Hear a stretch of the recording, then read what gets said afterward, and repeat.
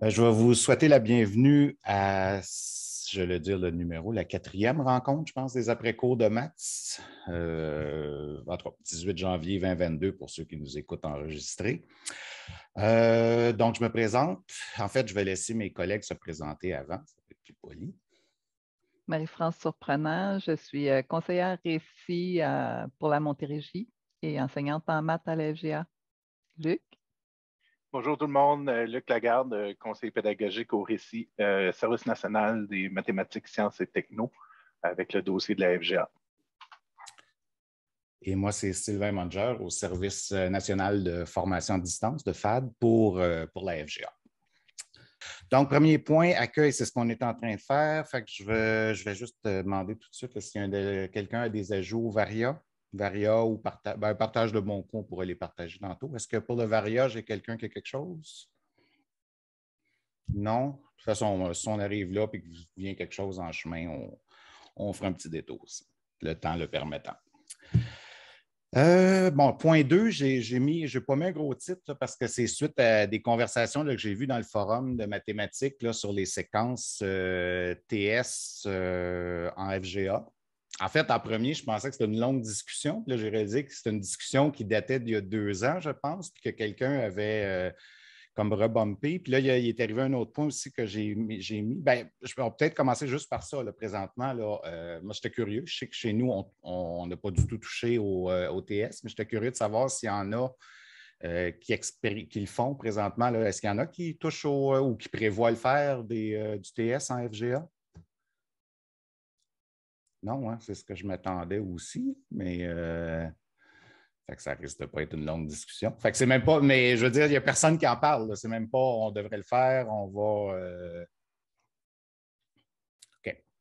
Puis ben, là, suite à ça, euh, oui, j'ai entendu une voix. Oui, j'irais même à dire que nous, dans notre coin, c'est quasiment un, choix de centre des services scolaires.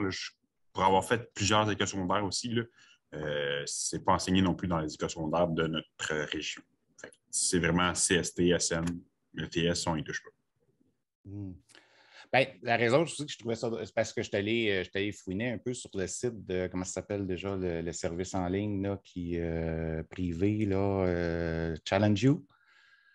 Puis eux autres semblent donner la possibilité de l'offrir. je voyais sur leur page qu'ils avait, euh, ils, donnent un peu à l'élève la description des trois pour leur permettre de faire un choix entre les trois. Donc, j'imagine que par défaut, ça veut dire qu'ils peuvent offrir le TS ou peut-être que si quelqu'un choisit le TS, qu'il l'aiguille ailleurs, je ne sais pas, mais j'étais curieux de savoir si, euh,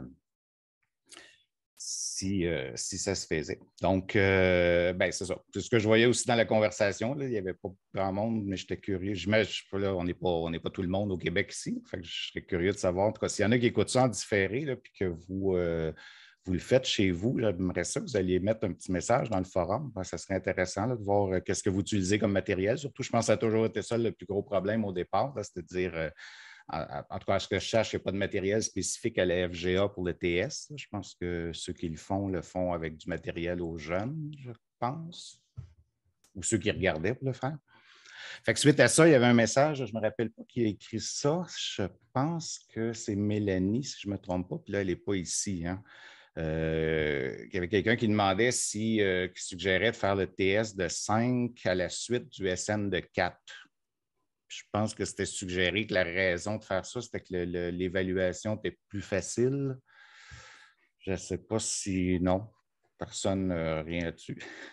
Non, je pense que c'est je me, rappelle, me rappelle plus la personne qui a écrit ça. Mélanie est souvent là, mais là, aujourd'hui, elle n'est pas là.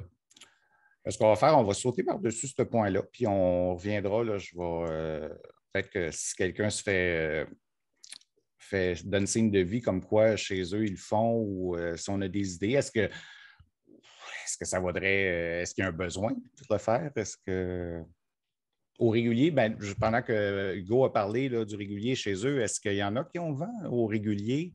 Est-ce que ça se donne dans vos, euh, dans vos centres ou en mathématiques, les SN? les TS plutôt? Je pense pas. Moi, je n'ai pas l'information. Je, vais peut-être m'informer. Je suis curieux, mais euh, ça doit se donner en quelque part, je Je voulais, juste dire que je ne sais pas si c'est encore là, mais il y a quelques années, euh, en Montérégie, on avait, invité des gens du ministère à venir euh, du secteur des jeunes à participer à notre JPM. Puis il y avait deux filles à l'époque qui travaillaient juste pour. En fait, elles faisaient la promotion de la, séquence TS au secteur des jeunes parce que c'est la mal-aimée, c'est celle qui n'a pas été implantée à partir du début. donc, euh, puis leur mandat, c'était ça. je ne sais pas si elles sont encore là. Je ne sais pas si elles existent encore, ces deux filles-là. Je pourrais essayer de retrouver leur nom, mais je sais que leur mandat, c'était ça. Je ne sais pas si ça vous dit quelque chose, Marie-France. Je ne sais pas si ça dit quelque chose, non? Je vais, faire une petite recherche, puis vous reviendrez là-dessus. Je pense que de tout temps, la, séquence TS, quand on dit mal aimé, je ne pense pas qu'il y a personne qui, qui, qu'elle n'est pas bonne. Je pense que ça a toujours été une question de, pratico-pratique, le, matériel nécessaire, ben, justement, on n'a même pas de volume pour ça. La plupart des gens n'ont pas le temps. Je pense que c'était plus une question de matériel. Puis comme les deux sont pratiquement équivalents pour le cégep avec le SN, ben, je pense que ça a été. Euh, mais euh, bon, donc, euh, formation en ligne, formation en ligne. Donc, euh, j'ai mis on a mis un point parce que, premièrement, là, ben, il y en a qui ont dû faire l'expérience de formation en ligne. Puis là, quand, là je ne sais pas comment, s'il y en a qui ont discuté plus dans les détails de cette obligation-là -là, qu'il va avoir d'offrir un service en ligne aux élèves. Donc, ça, c'est quelque chose que je pense qui est un petit peu nouveau là, de, de, devoir offrir un service aux élèves qui vont être obligés de s'isoler. Je ne sais pas trop. Avez-vous passé ça? Moi, c'était dans le message, euh, mais c'était dans le message du ministre ou quelque chose. Il y avait quelque chose par rapport à ça. que... Non, je vois des. J'aurais dû aller fouiller un petit peu plus. Moi, j'ai entendu ce matin aux nouvelles ce qu'il disait, c'est que les fermetures de classe auraient lieu à partir de 60% d'absence au secteur jeune. Mais euh, à partir du moment que 60% des jeunes qui sont isolés, la classe ferme, puis ça tombe à distance j'ai pas eu le temps. je ne sais pas, aux adultes, euh, ça ne marche pas trop. Là. Mais de toute façon, je pense que euh, l'enseignement en ligne, c'est. Là, on revient en présence euh, aujourd'hui, pour la, ben, je pense tout le monde, mais euh, je pense qu'il ne faut pas se faire d'illusions que c'est encore une possibilité qui peut revenir assez vite. En fait, je pense qu'en tout cas, il y a bien des endroits, dont chez, nous, on a fait un petit peu, je pense, l'erreur l'an passé de supposer que là, c'était derrière, derrière nous, qu'on était revenu en présence et qu'on allait rester. Fait qu'en un an et demi, je ne pense pas qu'on a fait de grand. En tout cas, chez nous, il y en a, il y en, a qui en ont fait. Je ne pas, pas tout le monde, évidemment, mais euh, on n'a pas fait grand-chose pour se préparer à revenir en ligne. Puis un an et demi plus tard, je n'ai pas l'impression qu'on était bien, bien plus prêt à à le faire. Fait que, fait que dans le fond, moi, ce que j'aimerais savoir, je ne sais pas, là, évidemment, ça, c'est peut-être plus pour les enseignants, mais si vous avez. Euh, je sais que moi, en tout cas, chez nous, c'est encore difficile. les profs cherchent encore comment, euh, comment je fais pour expliquer quelque chose à mon élève en ligne, surtout en maths et sciences. Je ne sais, pas si euh, vous autres, c'est votre, votre, opinion, mais moi, je pense que c'est les, les, matières où c'est peut-être le plus difficile d'enseigner en ligne parce que c'est euh, peut-être qu'en français, c'est plus facile d'utiliser un Word ou quelque chose ou un document PDF. Donc, je ne sais pas s'il y en a qui, chez eux, comment ça s'est passé un peu le présentement, l'enseignement en ligne la semaine dernière. Est-ce que ça, a été smooth? Ça, euh, ça a causé bien des maux de tête? Est-ce que. Ici, dans les centres de services des patriotes, on commence à brasser des idées euh, par rapport. Parce que l'enseignant qui qui fait les cours euh, en ligne de maths et de sciences, il y a beaucoup de problèmes vraiment, bien sûr, pour toutes les explications qui sont compliquées à donner. Donc, on commence à brasser des idées et si on va mettre ici sur place hum, une plateforme sur laquelle on peut accrocher des vidéos, des activités et sur laquelle on peut faire aussi les suivis. Ouais. On, est en train comme, euh, de regarder ça étant eh, parce que la difficulté c'est là ouais, expliquer les choses, tout ça. Donc, c'est les choses qu'on commence ici comme à, eh, abracer comme, comme, idée. Juste ça pour le moment. Merci, euh, Edgar. Hugo? D'un côté, euh, depuis, euh, depuis la pandémie, tous nos enseignants ont, accès à une caméra document. Donc, la plupart des enseignants travaillent avec ça, euh, une caméra U, pour ne pas la nommer. Mhm. Euh, ils travaillent avec ça à la maison. Ça semble aller quand même bon train. La, la plupart des enseignants semblent être satisfaits de ça. Euh, je sais, on a encore l'espèce de. On, est un peu en attente de la question de l'élève. Donc là, les enseignants commencent à être plus à l'aise à, un peu faire un suivi plus, plus rapproché des élèves, les questionner un petit peu plus pour s'assurer que que, le travail se fait. Puis euh, aussi, euh, depuis, euh, je vous dirais, l'an passé, on a commencé à monter des cours aussi sur la plateforme Moodle pour les cours de mathématiques en r 3, entre autres. On a fait la séquence du r 3. c'est sûr ça va être à bonifier. Pour l'instant, c'est beaucoup un genre de, marche à suivre ou un plan de travail dans lequel on a inséré quelques capsules vidéo qu'on a trouvées, entre autres, sur YouTube, euh, pour ne pas faire la publicité à une de mes amies que je connais bien, là, Maggie Blanchette. Euh, euh, on lui a utilisé certaines de ses capsules. Puis, on a un enseignant aussi qui, qui est à l'aise avec une tablette Wacom. Donc, il a fait quelques capsules aussi. donc, là, pour l'enseignement en ligne, on a trouvé que c'était peut-être gagnant aussi. Donc, là, on est à, travailler pour les, séquences qu'on a aussi en r 4. On, va, on va avoir une plateforme Moodle aussi qu'on est en train de monter. Donc, c'est beaucoup de temps, mais avec tout ça, euh, je crois que pour l'enseignement en ligne, ça va aider. Puis, autant en classe, les, étudiants vont se servir de leur appareil euh, personnel pour écouter les capsules ou pour suivre euh, le cours sur Moodle. À date, c'est assez gagnant de notre côté. Je pense qu'on a fait des progrès numériquement avec ça, je crois. Si je ne me trompe pas, Hugo, chez vous, je pense que tu parlais de la tablette Wacom. Là, je pense qu'il y en a eu, il y en a eu d'acheter. Là, là c'était spécifiquement, je pense, pour le service de FAD, hein, si je ne me trompe pas. Oui, là, euh, en début d'année, en effet, là, euh, notre conseiller Récit euh, et moi, on a fait beaucoup de. Et ma collègue aussi en français, là, on a fait beaucoup de pushing pour que nos, nos, trois enseignants et même nos cinq enseignants en FAD aient une tablette Wacom pour la formation à distance, je crois que c'est essentiel pour la correction, puis tout ça, ça simplifie beaucoup la tâche. Et puis, euh, j'ai fait une demande aussi pour qu'on en ait deux autres euh, pour euh, les, profs FGA, donc qui puissent faire des capsules, qui puissent s'en servir. Donc, ouais, on a cinq, ouais, six tablettes Wacom au total dans notre centre. OK, quand tu parles de ces tablettes-là, toi, tu, euh, parlais de deux pour que les profs puissent faire ça. Vous parlez du matériel que vous partagez, dans le fond. Oui, exactement. Oui, c'est ça. Dans le fond, on a euh, tous nos profs FAD ont, leur propre tablette, plus euh, deux qui, qui, pour l'ensemble des enseignants de la FGA. De toute façon, je, voulais juste, juste, avoir des réponses là-dessus parce que j'ai mis un point, j'ai pas mal tout mon matériel sur le bureau. Là, que ceux qui sont intéressés à voir ce que ça a l'air, je vais tout pouvoir le montrer. D'ailleurs, la caméra U, c'est celle que j'ai sur mon bureau présentement. Là, euh, tu parlais, je le montrerai tantôt. Est-ce qu'il y en a d'autres qui ont. Euh, oui, Marie-France? Je pensais aussi au cas où c'est l'enseignant qui est confiné, puis les élèves sont à l'école. C'est le cas d'une collègue présentement. Là c'est comment vous fonctionnez là-dedans? Je ben, la rencontre cet après-midi, justement. Ben, c'est là un peu tout l'équipement, tout le, projet pilote d'enseignement hybride au régulier qu'ils ont fait avec tout le matériel. Parce que c'est ça aussi qu'il faut faire attention. Ben, l'enseignement hybride, ça ne s'improvise pas. Mettre, un, mettre un portable puis d'aller chercher le son de la, classe, là, pour, ce ne sera, sera, pas une façon qu'un prof va pouvoir donner un cours. Là, Le prof qui est à la maison, il n'y a même pas. Euh, Remarque, en enseignement individualisé, je verrais une façon où il y a peut-être un portable en avant, puis que les, littéralement, les élèves vont poser leurs questions au portable. Qui le Mais je pense que c'est comme ça qu'ils sont, sont, organisés. Le, portable d'en avant est branché sur Team avec euh, l'enseignant dedans. Ça reste le, problème un peu. Ben, ça va nous prendre, ça, va nous prendre aussi, nous autres, des parents qui vont venir nous aider à surveiller nos élèves dans les classes? On va savoir. Je vais demander à ma mère. je, pense, qu'ils sont assez grands quand même. Oui, OK. Si tu le dis. oui, Hugo.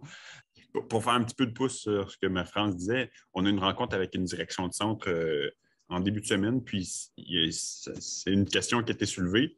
Puis euh, nous, ce qu'on nous a dit, étant donné que tous nos élèves, nous, dès, leur entrée, on les, euh, on les branche sur Teams, pour, pour, bien dire. Donc, ils sont automatiquement, ils doivent se brancher sur Teams. Donc, l'idée a été lancée euh, qu'en effet, ce serait euh, une espèce d'enseignement hybride. On aurait, euh, si on est capable d'avoir un suppléant, bien entendu, c'est un suppléant qui est là.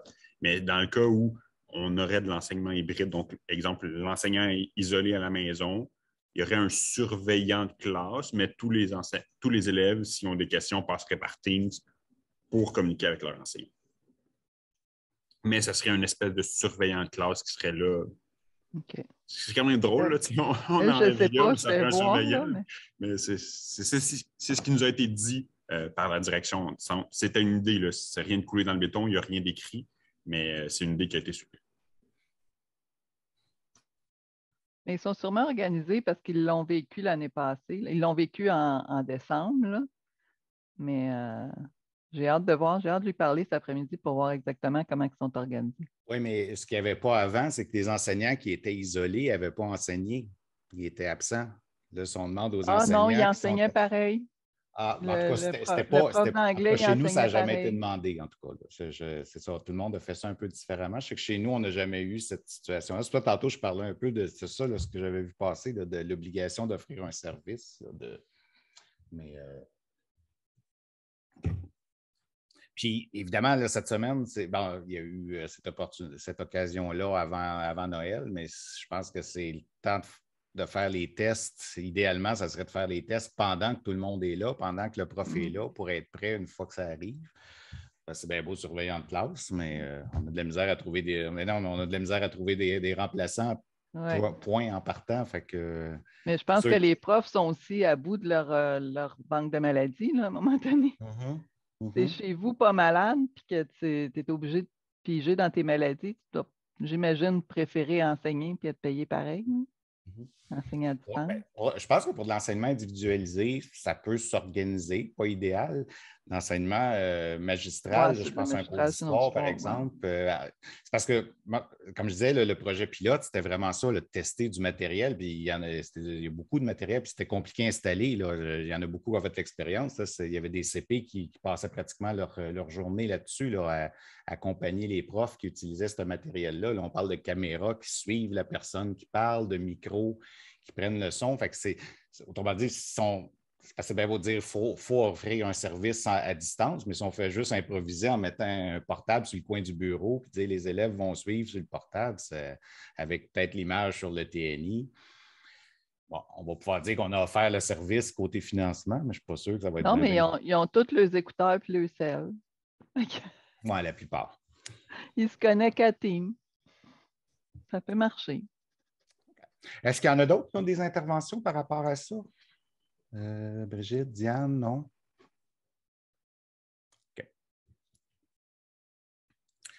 Euh, ben, je vais passer tout de suite à l'autre point. Ben, euh, Hugo en a parlé tantôt de matériel. parce que je voulais en profiter, justement. Moi, j'ai quand même beaucoup. Ben, euh, je, vais, commencer. moi, ça fait longtemps que je fais la, que j'enseignais à la FAD. Là, ça devrait dater depuis 2011. Puis du matériel comme des tablettes Wacom et tout ça, moi, j'ai toujours utilisé ça. Puis justement, j'ai de la misère à figurer comment on peut enseigner à distance en mathématiques et sciences, surtout. Je pense que c'est une problématique qui est plus. Je ne dis pas que ça ne peut pas servir dans les autres matières, mais je pense que c'est une problématique qui est plus criante en, maths et sciences parce que c'est difficile d'expliquer un problème de maths sans, euh, être capable d'écrire ou, euh, quelque chose. Puis euh, des, capsules, c'est beau, mais c'est difficile. Si on a besoin de faire quelque chose live, une question qui nous vient tout de suite là, on n'aura pas une capsule qui va répondre spécifiquement nécessairement à ce besoin-là. je vais en profiter, essayer de faire un petit peu, on a parlé d'un petit peu de matériel pour ceux qui ne connaissent pas. Euh, là, je vais essayer de partager. Je vais faire ça. il va y avoir des petits délais là, parce que pour, changer de caméra, il euh, va falloir, là, vous allez voir un fond vide, deux secondes, c'est normal. C'est parce que euh, virtual background, none. Bon, voilà. Donc, tantôt, on a parlé de la tablette Wacom. Euh, c'est quoi le nom? J'ai oublié le nom de la Wacom. Euh, t'en rappelles-tu, euh, Hugo? Ben, nous, c'est une Wacom One, je sais Wacom One, c'est ça. C'est une, version. C'est parce qu'il y a deux modèles. Il y en a un autre que j'ai ici que je vous montrerai tout de suite après, qui est un petit Wacom, là, qui est un écran noir, en fait, un fond noir. La différence, celle-là ici, je pense que c'est celle-là que vous utilisez. la Wacom One a fait la même chose. Ça, c'est un modèle XP Pen, mais essentiellement, elle fait exactement la même chose. Là. Ça, c'est Euh, l'idée de ça, c'est que euh, je vais placer ma petite caméra. De toute façon, je vais, je vais là, je pourrais prendre, je vais mettre quelque chose du genre. Euh, voilà. Fait l'idée de ça, c'est qu'essentiellement, ce que ça fait, c'est que ça a besoin d'être branché sur un écran. Donc, ce que ça fait, c'est que ça duplique l'écran. Donc, ce qui est important de voir sur cette tablette-là, c'est que ça fonctionne. Ce n'est pas autonome. Il faut que ça soit branché à Windows pour fonctionner. Donc, ce n'est pas question, on ne peut pas l'amener et dire je la branche d'une prise électrique, je peux faire une capsule. Non, c'est Windows qui est en dessous. Ça fait simple. C'est comme un écran euh, supplémentaire, dans le fond. Un écran tactile. C'est ça. Puis pour utiliser, moi, je dirais même que pour utiliser ça en ligne, c'est presque nécessaire, au moins au départ, d'avoir un deuxième écran parce que là, automatiquement, si vous branchez ça, vous perdez votre écran, euh, vous perdez votre écran avec, la caméra et tout ça. Fait qu'essentiellement, tout ce que c'est ensuite, ben là, vous, ça va être difficile un petit peu d'écrire, mais euh, c'est parce que je suis un petit peu mal placé, j'écris mal de toute façon. Pourquoi que le crayon Ah, il faudrait peut-être que je mette ajouter une page. Bonjour. Mais prenez. De toute façon. Ben, on ne voit presque pas. De toute façon, mais l'idée, c'est que ce que vous écrivez là-dessus, c'est euh, apparaît ensuite directement à l'écran. Donc, si vous êtes live avec un élève, ça peut servir, je sais qu'il y en a beaucoup qui servent pour faire des corrections, mais ça pourrait servir là aussi en étant live avec un élève, en autant, comme je disais, que vous avez une deuxième, euh, une deuxième caméra. Côté ergonomie, par exemple, puis ça, Hugo, je pense que vous avez quelqu'un chez vous qui est bien qui, est, qui, est très, qui est très Je me rappelle que Julien, on en avait parlé, puis effectivement, là, c'est. C'est pas tellement bien placé pour écrire là-dessus. Il y a comme un petit support. On peut la mettre à plat, mais il y a un petit support. Puis c'est, c'est pas le genre de choses, moi, par exemple, que j'aurais, je voudrais utiliser huit heures de temps en ligne. Là, euh, ça, ça, pourrait causer des problèmes. Fait que c'est pas, c'est pas facile, mais l'avantage, c'est que vous écrivez pareil comme si vous écriviez sur une feuille. votre écriture apparaît. C'est ça la difficulté des écrans noirs, c'est que c'est quand même assez difficile d'écrire. c'est un, euh, c'est intéressant, c'est quand même pas donné. Euh, je sais que celle-là, le modèle XP Pen est un petit peu moins cher que la Wacom One. Wacom, c'est un peu comme la marque, euh, la marque reconnue. C'est un peu le. je pense que la Wacom, détails autour de, généralement autour de 550 environ. Le 500-550, celle-là est plus autour de 400.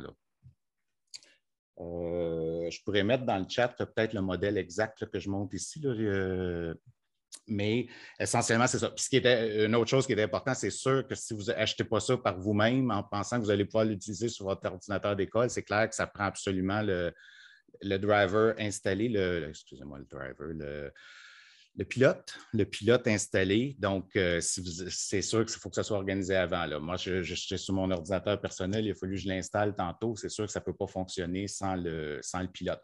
La seule chose, c'est que si, là, on parlait de la Wacom tantôt, ce qui est intéressant la Wacom, c'est que euh, je, vais, je vais passer à l'autre, justement. Ça, c'est l'autre modèle un petit peu, il est un petit peu loin, mais on devrait le voir pareil. Ça, c'est le petit modèle avec écran noir ici. Ça, c'est le modèle Wacom. Je ne me rappelle plus du nom du modèle, mais essentiellement, ça fait un peu la même chose, sauf que euh, la différence du modèle-là, d'ailleurs, il est intéressant ici. il se branche euh, carrément en Bluetooth. Donc, ça permet de, pouvoir l'utiliser sans avoir de, sans avoir de fil. Ça, ça peut être vraiment pratique. En fait, moi, une utilisation que j'en faisais à un moment donné, c'était carrément d'écrire sur le, tableau numérique, mais en restant euh, loin dans la classe, en utilisant ma tablette qui était branchée sur le portable. Mais en termes, c'est sûr que oui, on peut écrire. Moi, je cette, petite tablette-là, je m'en servais souvent pour des petites explications live avec des élèves. C'est juste des fois de faire une petite euh, solution d'équation, de mettre, de mettre du visuel un petit peu, faire une correction de, avec ça, c'est quand même assez difficile. c'est difficile d'écrire, euh, euh, de bien écrire avec ça. C'est vraiment, vous écrivez, puis ce qui vous apparaissait, ce n'est pas intuitif d'avoir l'écriture qui apparaît à l'écran pendant que vous écrivez sur votre bureau à côté. Mais ce n'est pas impossible, par exemple, parce que ça prend de la pratique. je sais que j'ai quelqu'un, je pense que c'est à Mont-Laurier que tout le monde utilise ça. Puis euh, la jeune fille qui m'a fait la démonstration à l'écran, c'était surprenant. je, disais ça que c'était difficile d'écrire ça. non, non, je suis capable. Puis elle m'a tout fait sa page, puis mon Dieu, elle écrivait mieux que moi j'écris avec une feuille et un papier, avec une feuille et un crayon, je veux dire. Donc, euh, ça, c'est intéressant. Ce qui est l'avantage de ça, surtout, moi, c'est que je trouve que c'est très mobile. Ça n'a pas besoin pouvez l'amener n'importe où, vous mettez ça dans le, bureau, vous pouvez l'amener à l'école, vous pouvez l'amener chez vous, vous pouvez l'amener n'importe où. Tandis que l'autre modèle, celui que je vous ai monté ici, euh, on en a parlé tantôt, ça c'est un modèle qui peut être partagé, mais en même temps, c'est pas mal fixe comme installation parce qu'il y a à peu près quoi, quatre fils. Il y a un fil, il, faut que ça soit branché dans le fil euh, dans à l'électricité, il faut que ça soit branché au HDMI au portable. D'ailleurs, ça prend un portable aussi qui, je pense, maintenant, on devrait pas mal tout en avoir, mais ça prend une prise HDMI ou sinon un adapteur. Euh, il y a un autre fil qui se branche à la tablette. Donc, ce n'est pas impossible de se promener avec d'un endroit à l'autre, mais ce n'est pas, pas quelque chose qui se fait facilement. Euh, puis euh, Hugo en a, parlé tantôt comme, comme solution de. Je vais changer de caméra. Tout est trop Je ne sais pas si on va le voir ici. Là. Si je le mets devant moi, Hugo en a parlé tantôt de la tablette parce qu'en plus, inverte avec un. Ah ben là, je n'ai pas d'écran vert. L'autre fois, j'avais essayé de la montrer avec un écran vert. Ce n'était pas tellement beau. Donc, euh, ça, c'est ça. C'est sûr qu'il y, a plusieurs modèles de, de caméras documents, mais euh, celle-là est quand même assez intéressante parce qu'elle est vraiment facile à manipuler. Comme vous avez vu tantôt, il y a un bras un peu qui, est, très flexible. ça peut être facile de, la manipuler live. Là, euh, ça se branche juste dans une prise USB. USB. Donc, euh, ça peut. Euh, moi, je l'ai sur le coin du bureau, puis si je n'ai besoin, je n'ai pas besoin qu'elle soit installée en avance. je peux juste prendre, la prendre, je branche une prise USB, puis vous faites juste changer votre, caméra. Au lieu que ce soit la caméra du, portable ou d'écran, vous choisissez la caméra ici. Puis là, ça vous permet, bien, si vous voulez, vous pouvez vous installer sur le bureau avec la bonne vieille feuille et crayon, puis faire une explication euh, à la main. Comme je dis, ça peut se faire avec n'importe quelle caméra document, mais celle-là. Puis ça permet de faire beaucoup plus dans science. moi, je m'en suis déjà servi faire des exemples de branchement de circuits, puis des trucs comme ça. des choses qui demandent euh, une précision, là, ça peut être intéressant. Euh, côté achat, je pourrais, il faudrait que je mette tout ça dans, le, dans le chat après. En fait, je vais faire mieux, je l'ai déjà dans un Padlet, je pense. Euh, la seule chose avec ça, je ne sais pas, vous autres, Hugo, où est-ce que vous l'aviez acheté? Parce que je sais que moi, le seul endroit que je l'avais trouvé, c'était sur euh, un magasin qui, que je ne veux pas nommer, mais qui est assez gros en ligne. Chez nous, on n'a pas l'autorisation d'acheter de là en général. je ne sais pas. Je ne sais pas, c'est pas moi qui a, fait de l'achat. Faudrait, je pourrais essayer d'en parler avec Julien. Je crois que c'était plus Julien qui était euh, pour l'achat de tout ça, mais on l'a acheté vraiment en grande quantité, comme je, comme je disais tantôt, pratiquement tout. si je ne me trompe pas, tous les enseignants euh, qui étaient avec nous l'an passé quand la, première pandémie, quand le, premier confinement a eu lieu, avait, avant de partir, une caméra document. Donc, ça fait déjà un an et quelques qu'on les a, mais on en avait acheté une bonne quantité. Oui, puis ça aussi, tu disais, euh, c'est assez facile à transporter aussi, parce que même le, pied ici, ça peut même être débranché du socle. Donc, ça, peut être quand même assez facile à transporter. C'est juste un fil USB. C'était à peu près, moi, quand je l'ai acheté, c'était autour de entre 100 et 150 dollars, dépendamment du. Euh, peut-être que moi, ça fait plus qu'un an que j'ai acheté ça, donc je n'ai pas vérifié hmm. récemment. Le Saint est disponible, j'irai peut-être voir. Euh, là, je vous parlais des Karine, modèles. Karine a acheté une, Karine euh, Lachance, une Okiolab qui se plie vraiment, est à peu près de la grandeur, excusez, de la grandeur d'un cellulaire quand elle finit de plier. Là. Je ne vais pas vous la, elle vient aussi d'un grand magasin en ligne. elle, se détaille autour de 100 dollars, 100, 120 dollars, puis elle se plie. Puis l'avantage, c'est qu'elle a une rallonge, ce qui fait qu'on peut la mettre vraiment haute et voir une page 8,5 11 au complet. Elle est blanche, toute articulée. Elle, va vraiment bien. Okiolab, je l'ai mis dans le, dans le on a un petit driver installé vraiment simple et euh, ça... ça le, morceau important, finalement, que ce soit n'importe quelle caméra document, je pense que c'est juste qu'elle soit quand même assez facile à, bouger, puis qu'elle soit, elle peut être quand même aussi mise assez haute, parce que pour faire une explication à la main, si c'est trop basse, ça va être difficile de, mettre la feuille au complet, que ça soit. il faut quand même aussi que la qualité d'image soit assez claire. Là. Je sais que la U, c'est. Euh, c'est le modèle en, HD, donc l'image est assez claire. Évidemment, si l'image n'est pas claire, ça ne fera pas une explication tellement intéressante. Euh, Luc, oui, je vais te laisser y aller. Oui, juste pour dire, bonne nouvelle, la U, elle est disponible, la U HD Pro, disponible dans la liste de la CAG Donc, ceux, euh, ceux qui connaissent les listes officielles des, choses, j'ai la liste ici, puis elle est disponible à 109 euh, Donc, juste demander aux responsables des achats chez vous, les fameuses listes de matériel qu'on ne trouve jamais rien, mais celle-là est dessus. Ah, cool. Euh, je ne sais pas s'il y en a qui ont déjà utilisé. Moi, j'avais l'ancien modèle de la U dans notre CSS, puis on a eu des problèmes avec cette caméra-là. Elle fonctionnait super bien, je faisais des tests. Puis, à un moment donné, la, caméra arrêtait de fonctionner. Moi, c'est les profs qui me rapportaient ça. La caméra, elle arrêtait tout simplement de fonctionner. Puis, elle aurait démarré, puis là, elle fonctionnait. Mais je ne sais pas si euh, c'était quoi, puis c'était pas la HD, là, celle que tu as montrée, c'était le premier modèle. Je ne sais pas si c'est déjà arrivé, mais euh, à part de ça, c'était super comme caméra. Puis techniquement, ça prend pas de, ne prend pas de pilote pour faire fonctionner. La plupart des caméras, la seule chose, la, plupart viennent avec des pilotes, mais généralement, c'est plus pour installer des, petites applications. Puis de toute façon, ça, généralement, c'est des essais de trois mois, des trucs comme ça. Fait que ça ne vaut probablement pas la peine. Euh, de les... Il y avait une fonction, par exemple, avec la U, je me rappelle qu'il y avait une petite fonction qui était intéressante. Je ne me rappelle plus c'était quoi, mais qui était sur le pilote, mais en général, c'est du, euh, plug and play.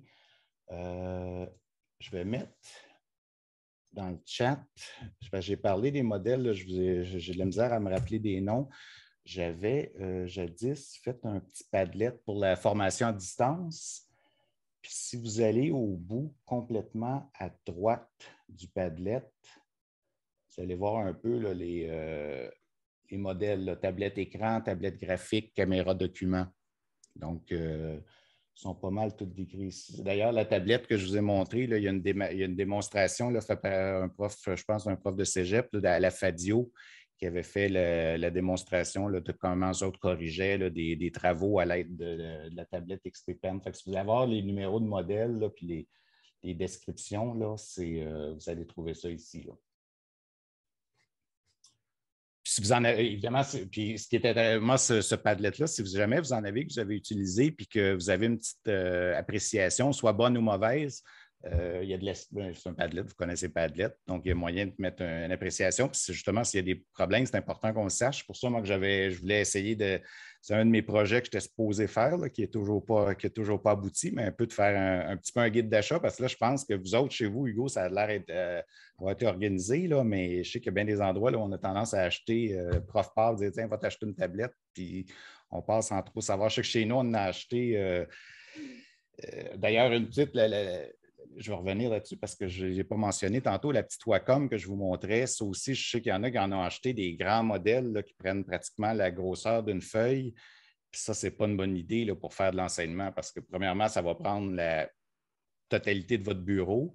Puis le seul avantage de ces grandes tablettes-là avec le grand écran, c'est pour faire du dessin. Parce qu'essentiellement, c'est des tablettes qui, à la base, ont été, euh, autant la tablette écran, c'est des tablettes qui ont été faites à la base pour le dessin au début, là, ça a été comme recyclé comme utilisation euh, pour, nous autres en enseignement, mais à la base, c'est des tablettes de dessin. Donc, une grande tablette avec un grand espace, ça va être utile pour le dessin, mais pas nécessairement pour,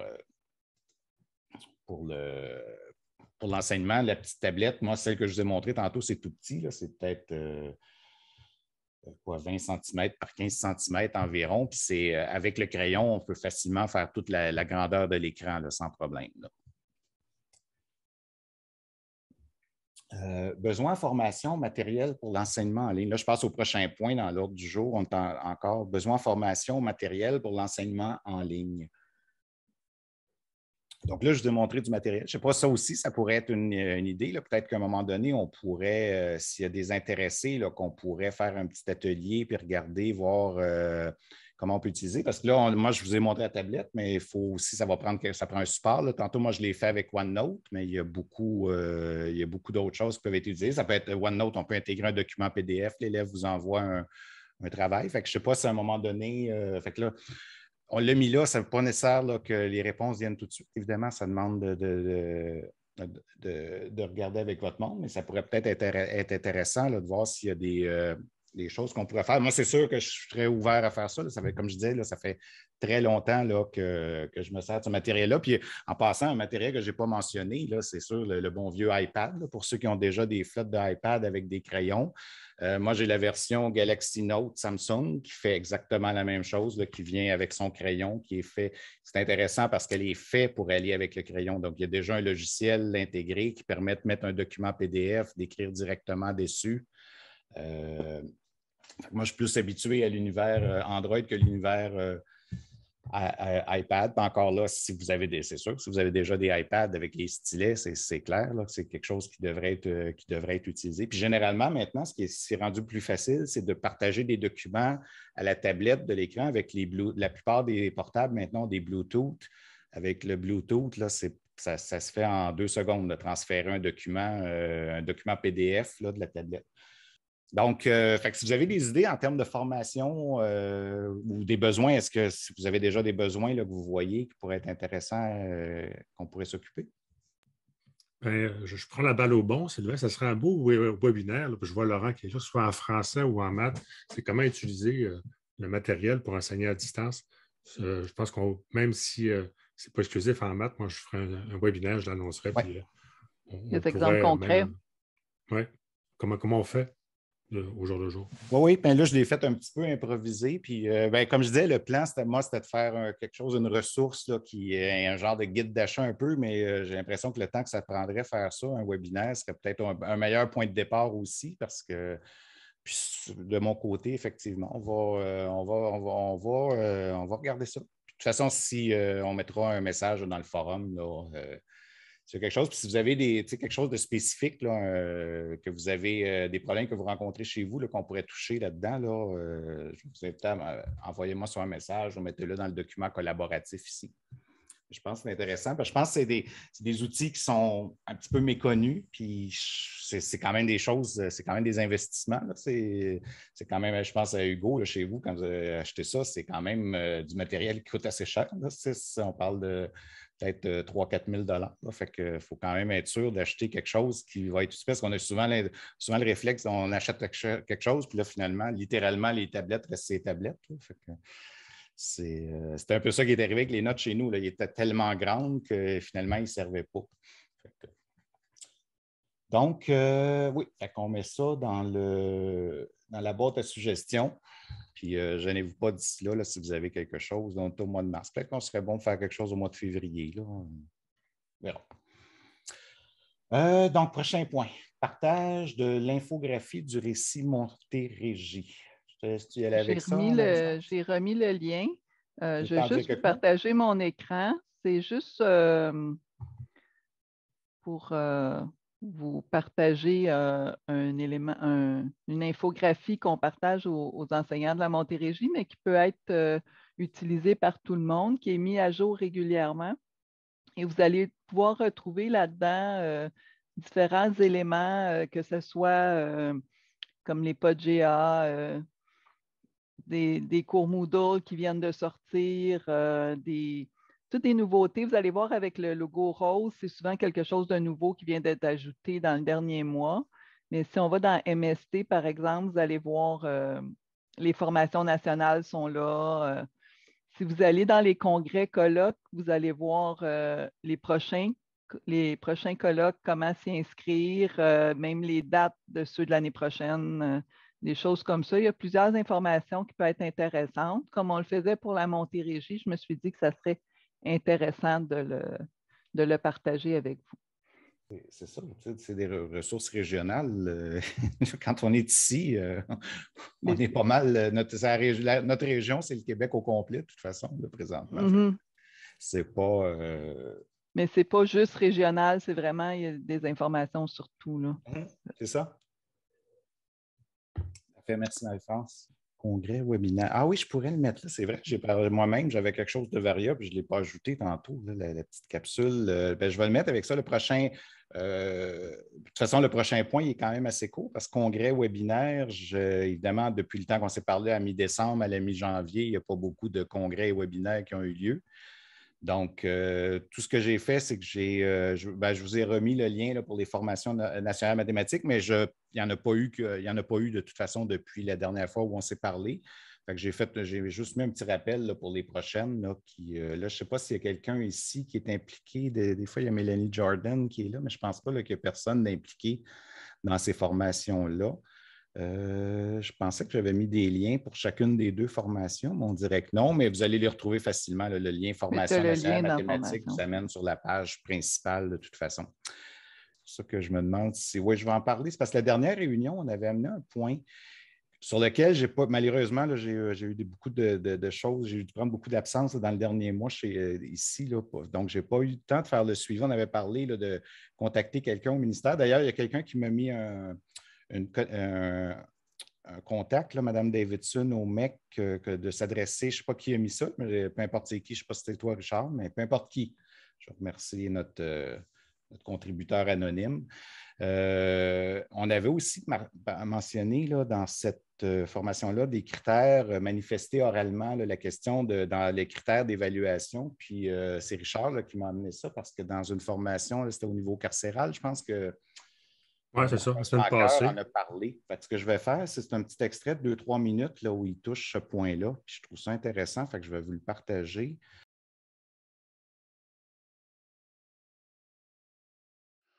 On poursuit avec les critères d'évaluation. Donc, les critères d'évaluation.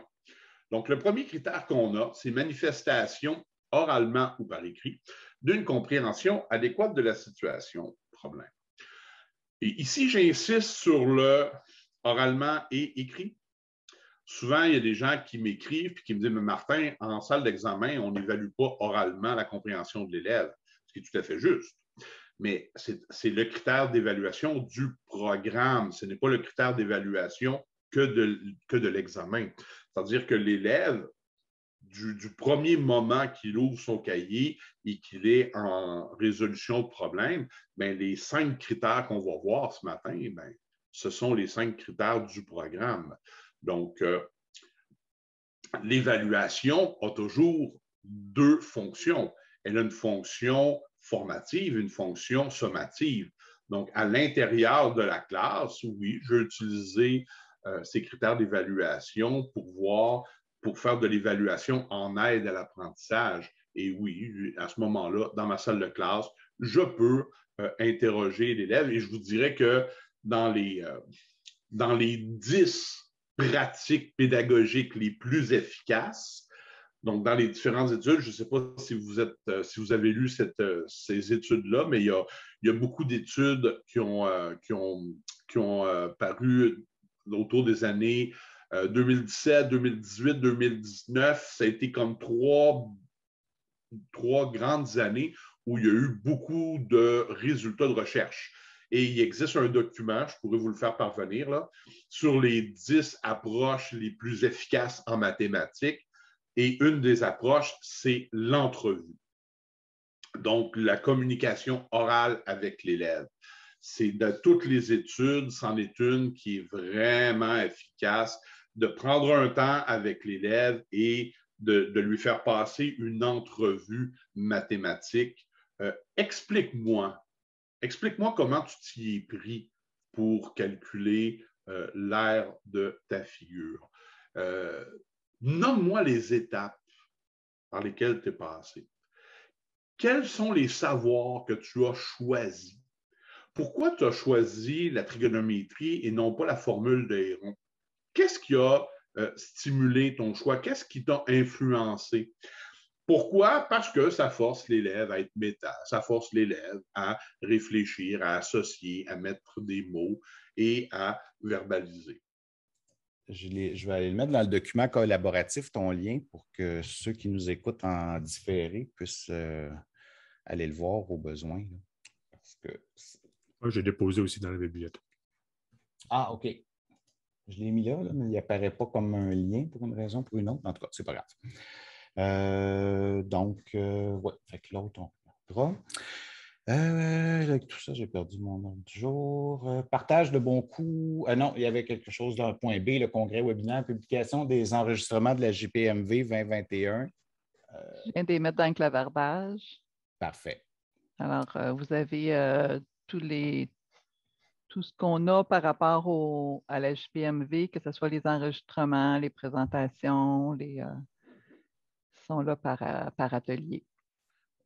A des petits logos qui vous permettent de voir si, si on a l'enregistrement ou pas, puis ce qu'on a comme information il faudrait que j'aille faire le ménage parce que la dernière rencontre, on avait pris la peine, on, avait fait un tour, mais comme les enregistrements n'étaient pas encore disponibles à ce moment-là, on avait simplement mm-hmm. énoncé des, numéros de bingo, finalement, B12, B13, C15. Et là, ils ne sont pas associés à aucun atelier. Fait que euh, je vais essayer, de, ben, pas je vais essayer, je vais le faire, peut-être pas tout de suite, mais euh, de, faire les liens là, entre les ateliers qui avaient été suggérés, parce qu'on l'a mentionné l'autre fois, c'est beau de vouloir, euh, on, enregistre plein de choses, on, ah met plein de choses, mais il ne faut pas se faire d'illusions, on n'a pas le temps d'aller regarder toutes les affaires qui apparaissent. Fait de, de s'entraider entre nous autres, de dire, évidemment, ça ne veut pas dire que le reste, n'est pas intéressant, mais de, donner une appréciation, ça, je l'ai fait, puis ça, ça m'a vraiment aidé ça, peut nous permettre. Là. Puis moi, je, suggérerais même de le faire en équipe école aussi. Là. On a, je sais que chez nous, là, on essaye de faire ça un peu là, à une réunion, de ramener chacun, euh, après la GPMV, bien, tout le monde, un atelier là, qui, les a, euh, qui les a marqués pour être capable de justement faire le tri un peu là, pour, euh, pour les autres. Donc, c'est des choses qui se font déjà, mais ça peut être ça peut être une façon de, gérer ça. Donc, j'irai faire ça au point 5 de, la, rencontre précédente. On avait une série d'ateliers. Fait que si vous voulez quand même suite aller voir, vous avez les, ateliers numérotés. je vois 12 à 13, B12, donc vous pouvez faire le lien, mais je pourrais aussi euh, aller, j'irai mettre des liens directement pour que ce soit plus simple de les, de les retrouver. Oui, puis ils vont être aussi dans la bibliothèque. C'est-à-dire, dans la bibliothèque, tu mettrais les liens euh, directement vers les ateliers? Oui, je vais faire ça. Ah ben, si tu le fais, dans ce cas-là, je, pourrais, je mettrais peut-être juste un lien vers la bibliothèque. On ne fera pas le travail en mhm. Vous avez le lien toujours à, chaque début de compte rendu, vous avez le lien pour aller à la bibliothèque. Donc, juste à cliquer dessus. OK. Euh, je vais passer tout de suite au variable. J'ai mis le point 7, je l'ai laissé là. Il était là l'autre fois. C'est parce que je vais, je vais rappeler pourquoi je l'ai mis là, encore là aujourd'hui. Je ne suis pas sûr qu'on va avoir le temps. Là. Euh, je vais quand même tout de suite passer au Varia. Je reviendrai au point 7 avec le temps qu'on a. Je ne sais pas qui a mis ça, l'après-cours communauté alpha français maths 1er février. c'est moi, Sylvain, qui a mis ça parce que tu ne sais pas, mais tu as reçu un courriel tantôt de Stéphanie Perrault euh, qui va animer la prochaine communauté, la nouvelle communauté alpha maths et français. Puis elle nous a invités à publiciser la chose. Euh, sur nos plateformes, sur nos groupes en mathématiques et en français. Donc, euh, j'ai pris la balle au bon, fait que je l'ai mis là pour la communauté maths. Donc, elle va animer ça. Je ne sais pas avec qui exactement, là, Richard, tu saurais nous dire, mais il y a une première rencontre en février. Oui, bien c'est ça. Puis on fait en même temps, euh, c'est un test, on fait ça sur Teams. Fait que je shake. Et, euh, oh. juste, pour ça, je pense, juste pour ça, je pense que je vais y aller. toute, la, toute, la, communauté va être sur Teams. tous les documents, donc, on, fait un, test. Donc, c'est avec deux enseignantes euh, d'Alpha, une de l'Outaouais et une euh, de la région de Sherbrooke. Donc, Sarah Richard et. Pascal Auger, euh, Richard, et Frédéric. Mais il y a quand même un Frédéric, là, ce que j'ai reçu. Oui, il y a Frédéric aussi, mais les, animatrices, c'est Sarah et Pascal de l'Outaouais et Sarah de la région de Sherbrooke. Ça, autrement dit, ça, c'est peut-être quelque chose à partager, euh, à partager dans, vos, dans vos centres parce que je n'ai pas l'impression que la plupart des intervenants alpha vont nécessairement assister aux après-cours de maths et tout ça. Mais euh, donc, ce serait peut-être plus quelque chose aussi à en profiter pour le, partager, dans, le partager dans vos centres. 1er février, ça a de l'air loin, mais c'est quand même dans deux semaines. Fait que ça vient assez vite. Oui, Sylvain, puis euh, eux autres, elles l'ont publié dans le forum Alpha Pré là, que dans Moodle. Donc, euh, peut-être le publier dans ton forum mathématique. Dans Moodle, je vais faire la même chose en français. Parfait. Euh, bon. Ben, je vais revenir à mon point 7. De toute façon, on le fera. je, pense que j'avais mentionné l'autre fois pourquoi je l'avais mis là. C'est parce qu'on avait parlé l'autre fois de la feuille d'aide mémoire. On a discuté un petit peu. Puis moi, en tout cas, je ne trouvais pas que c'était satisfaisant. Comme on n'avait pas, vraiment parlé de solution. On, avait, on, a une problématique. En tout cas, moi, je trouve que c'est une problématique que les, les élèves sont souvent laissés un petit peu à eux-mêmes de la feuille d'aide-mémoire. J'étais curieux de voir si, euh, si depuis le temps, est-ce qu'il y en a qui ont changé des pratiques? Est-ce qu'on a des pistes de solutions? Est-ce qu'on devrait se pencher sur des pistes de solutions? Est-ce que Je ne sais pas. pour ceux qui n'étaient pas là, je pense. Euh, ben là, je pense que tout le monde, peut-être Edgar qui n'était pas là. Euh, c'est parce qu'on avait fait le tour un petit peu sur, la fameuse feuille d'aide-mémoire pour les examens de mathématiques.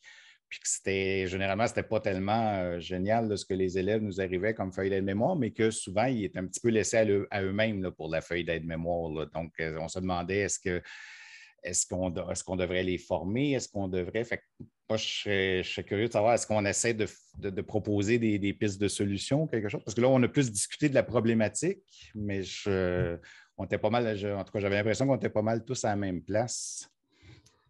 Je ne sais pas, est-ce qu'il y a quelqu'un, depuis qu'on a eu cette discussion-là, est-ce qu'il y a quelqu'un qui a, est-ce qu'il y en a qui ont essayé d'autres choses? Est-ce qu'on euh, on est pas mal à la même place encore? Est-ce que ça peut faire partie d'un cours de EVR? De, je... En tout cas, je lance la question. S'il y en a qui ont des idées, de toute façon, ça peut être dans le document collaboratif. Oui, euh, Hugo? Nous, on n'a pas fait grand-chose d'autre, mais euh, on se penche présentement, on, travaille, on avait un cours de méthodologie qu'on avait fait déjà il y a de cela quelques années. Euh, on est présentement en train de le remodeler et probablement que dans ce cours-là, euh, dans le cours de méthodologie qu'on nous, on l'offre entre la FBC et la FBD, donc entre le 2 et le 3, où nos nouveaux qui arrivent directement à FBD auront à, faire ce cours-là. Puis, on va probablement insérer euh, à l'intérieur euh, comment faire une, bonne feuille de mémoire. Puis, on travaille présentement avec aussi un orthopédagogue pour essayer de faire ça. Puis, ce qu'on avait pensé comme idée, c'est un peu l'évaluation de ce cours-là serait entre autres, ben, il faut que tu me fasses une feuille de mémoire de ce que tu as appris dans ce cours-là. Mais on n'a rien d'autre, on n'a rien de tangible, mais on sait qu'on va, euh, on va entrer ça dans ce cours-là qui sera obligatoire pour tous les élèves. Dès qu'ils arrivent dans FGA, ils ont ce cours-là à faire. Donc, ça ressemble un petit peu, c'est pas le EVR, c'est un cours vraiment euh, à part. Non, je trouve une personnellement, je trouve que c'est une bonne approche. Il faut, faut qu'on fasse. Parce que là, on leur relance ça souvent comme euh, un petit peu avant l'examen, dire Ah, tu as droit à une feuille d'aide-mémoire, puis ils n'ont pas vraiment de façon de faire. En tout cas, moi, les feuilles que j'ai vues, généralement, ça ne les aidait même pas vraiment à faire, euh, à faire l'évaluation. Je vais te laisser aller, Brigitte. Oui. Euh, moi, j'ai commencé à me pencher sur la question dans le cadre d'un projet que j'accompagne. Euh, j'accompagne François Prévost-Lagacé, puis une, autre enseignante de mathématiques. Euh, le projet de la Thinking Classroom. Puis euh, on se penche justement sur la prise de notes parce que ben, ce que François me disait, c'est que ben, il, demande à ses élèves de faire une, une, prise de notes à la fin d'une séquence d'enseignement, puis bon, ils ne savent pas comment et tout. Donc, on va vraiment créer des outils et, euh, et euh, des séquences d'enseignement pour leur enseigner la prise de notes. Fait que j'en suis encore là, au début euh, de ça, mais je me penche sur la question là. donc, pour leur enseigner. Donc, c'est selon des données probantes. C'est un, projet selon les, méthodes de l'approche d'un chercheur de Simon Fraser en Colombie-Britannique, la, Thinking Classroom. Donc, ça, a été étudié. Et c'est pour leur montrer en apprentissage comment prendre leurs notes. En Thinking Classroom, ils font des pratiques collaboratives. Et en fait, on va leur enseigner à comment prendre leurs notes. On va leur apprendre à réfléchir, en fait, quand ils travaillent, en vue de, d'écrire des notes pour, en fait, ils doivent prévoir des notes pour une tâche qu'ils auraient à faire, une tâche semblable trois semaines plus tard. Donc, on a des séquences, c'est ça. Donc, j'ai trois, quatre séquences d'enseignement prévues pour vraiment leur enseigner de façon explicite comment on prend des notes. C'est en fait dans la Thinking Classroom, c'est des notes pour eux-mêmes et par eux-mêmes. Donc, puis on, va, ce chercheur-là propose quelques approches, des outils, en fait, des organisateurs graphiques donc, on va en essayer différents. Il y en a qui sont que, les élèves créent d'eux-mêmes, puis il y en a qui sont des coquilles vides avec des, sous-thèmes et tout. Donc, pour essayer de structurer les élèves, mais donc pour le travailler en apprentissage, pour qu'ils puissent ensuite concevoir leur feuille d'aide-mémoire pour l'évaluation finale. Donc, voilà. Non, mais c'est voilà, c'est bon ce que tu nous, amènes là. Je trouve c'est une super bonne approche. Euh, Diane, on va. Ouais, je vais te. Euh, Diane, Diane, Diane, t'es rendu? Ah, parce que t'as enlevé ta main, fait que tu as changé de place. Je vais te laisser. Ah, OK. je ben, en fait, c'est euh, c'est un beau projet, Brigitte. c'est mm-hmm. assez organisé et étoffé.